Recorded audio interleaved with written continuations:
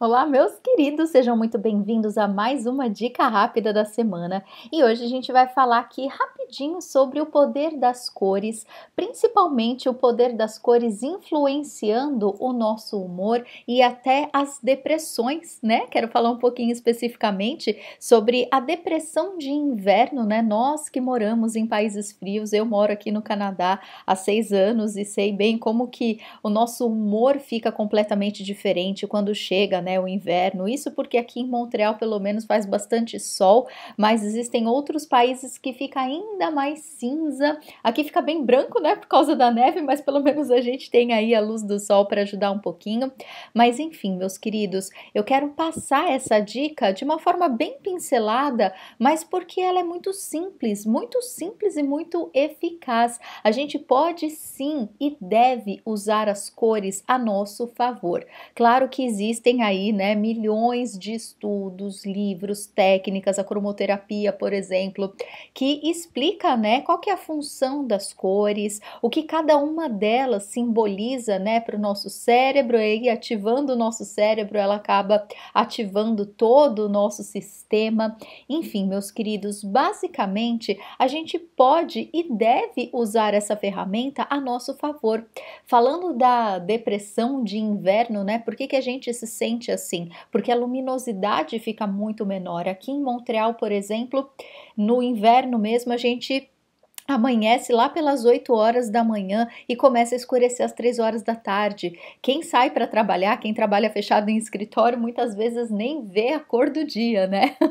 isso faz muito mal para o nosso cérebro, porque os nossos hormônios, eles ficam afetados com isso tudo. Se os nossos hormônios ficam afetados, obviamente todo o nosso humor, o nosso emocional, até a nossa parte energética fica afetada também. Então, a minha sugestão, que é muito simples, mas gente, que faz uma diferença brutal. Eu estou passando aqui o que eu fiz, o que eu uso todos os invernos, o que eu ensino às minhas pacientes que moram em lugares frios e que me relatam sempre, sempre, sempre o sucesso que essa simplicidade faz, que é a gente espalhar pela casa e principalmente na janela cores amarelas e alaranjadas. Então, é, quem não quiser trocar a cortina, eu sei, né? Às vezes a gente não vai trocar toda a decoração da casa, mas simplesmente compra um tecido bem fininho, né? De preferência baratinho, no lugar mais barato que você encontrar, cor de laranja ou amarelo bem forte e coloca nas suas janelas. Mesmo que o dia lá fora esteja muito frio, muito chuvoso, todo cinza,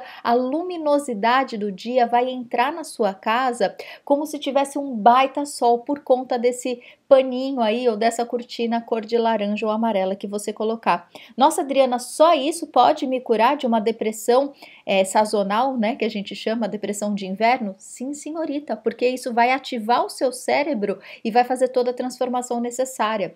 Além dessa, desse truquezinho que a gente pode usar nas janelas, a gente pode espalhar, né, almofada amarela, cor de laranja, lá no banheiro, troca suas toalhas, coloca a toalha amarela, cor de laranja, é, as roupas também, a gente pode usar, né, o cachecol, a touca, tenta sempre se cercar dessas cores quentes que lembram a energia do sol e aí a gente se sente muito, muito, muito melhor. Gente, é simples, né? Nesse caso não é necessariamente gratuito, a não ser que você já tenha aí, né, os acessórios dessa cor, mas de uma forma muito baratinha. Os médicos aqui, principalmente no Canadá, não sei nos outros países, mas eles recomendam uma luz especial que faz todo esse efeito. Essa luz normalmente ela é um pouco cara, né?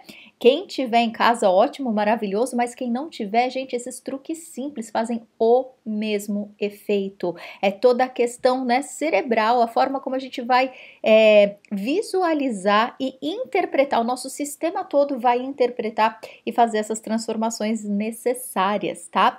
E claro, eu foquei principalmente nesse tema porque é um tema que eu percebo que o meu público que mora, né, em países frios, que agora tá passando pela é, pela fase do inverno, agora o hemisfério norte está no, inverno, tá no outono, quase no inverno, mas a gente já está passando bastante frio, eu percebo como as pessoas já estão com humor completamente diferente e, gente, não precisa, a gente não precisa sofrer. Tem muita gente que não gosta do frio, né, e sofre muito nessa época, e até as pessoas que gostam de frio sentem essa transformação, essa mudança por conta disso, da falta de luz, da falta de cores. E até porque, né, nossas plantinhas todas perdem as folhinhas, então fica tudo cinza, não é só o sol, é o verde das plantas, é tudo que se transforma, né? As pessoas estão sempre de casacão, muito de preto, muito de cinza, e a gente sente a falta dessas cores. Mas calma, se você não é de país frio, se você está aí nos trópicos, ou simplesmente se você não se sente afetado com relação a isso, você pode se beneficiar das cores de todos os jeitos, né? Lembra sempre de estimular os seus olhos, lembra sempre de estimular a sua percepção visual, e aí tudo pode ficar literalmente mais colorido. Às vezes a gente mora numa casa que tá lá com a decoraçãozinha do jeito que a gente não gosta muito, né? E aí a gente vai deixando, vai deixando, vai ficando meio xoxo, não sabe bem por quê, porque a gente não tá aproveitando do jeito que a gente poderia, né? Ou mesmo nas roupas, no seu visual. Eu mesma sou a louca do preto, vocês devem perceber pelos vídeos, né? mas eu sempre tento, né? No, com as minhas roupas eu não tenho problema, mas eu sempre tento usar as cores é, aqui, né? No meu estúdiozinho. Qualquer dia eu vou virar a câmera e mostrar para vocês, mas eu tento usar sempre as cores equivalentes àquilo que eu quero provocar. Por exemplo, a cor violeta, que é a cor da proteção energética, que eu ensino muito os meus pacientes a fazerem essa proteção energética. É, que mais? O azul, que traz uma calma, traz uma tranquilidade. Ou se eu tô precisando de energia, eu já uso todos os óleos essenciais de laranja, já tento colocar um amarelo a mais aqui na decoração. Então, meus queridos, a gente pode e deve usar dessas informações, dessas ferramentas. Como eu disse, existem vários livros, vários estudos que vocês podem colocar aí na internet e achar muita coisa básica que já ajuda bastante, mas confia na sua intuição.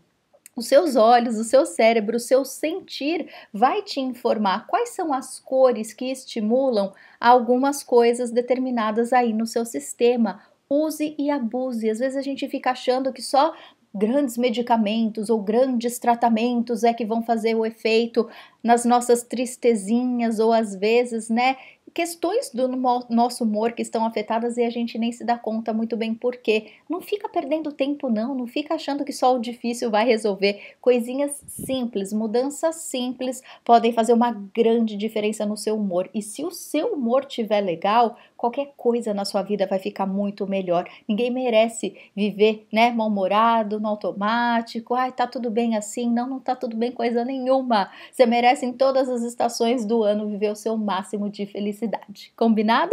Então é isso, meus queridos, a nossa dica rápida aqui. Pra variar, não foi tão rápida assim, mas eu também quero deixar um outro aviso, tá? Eu sei que tem muitas pessoas que seguem aqui o canal do Hoje Eu Me Sinto e são deficientes visuais. Claro que eu sei que esse vídeo, né, das cores não foi nada útil para vocês, por isso eu vou preparar um novo vídeo onde eu quero falar um pouco mais dos cheiros, quero falar mais dos óleos essenciais, que eu também sou apaixonada, e falar também do é, da importância da música, do som, da vibração, não só das músicas que a gente gosta, mas realmente do poder da frequência do som que pode transformar completamente aí todo o nosso sistema, né? Se a gente não faz isso através do visual, não tem problema nenhum. A gente tem vários outros sentidos e cada um deles faz o efeito principal, o efeito especial que transforma todo o nosso sistema. Nós somos completinhos e independente de qualquer tipo de deficiência que a gente possa ter, existem os outros sensores para compensar. Né? Então é isso, meus queridos. Qualquer dúvida, deixem aqui nos comentários, sugestões também, por favor. Enfim, qualquer dúvida, qualquer novo, nova sugestão de tema, escrevam para mim, contato arroba hoje eu me sinto.com Deixe seu joinha aqui no vídeo, compartilha com seus amigos que estão precisando de umas cores novas aí nessa vida e se inscreve no canal caso você ainda não esteja inscrito. Um beijo enorme e até a próxima!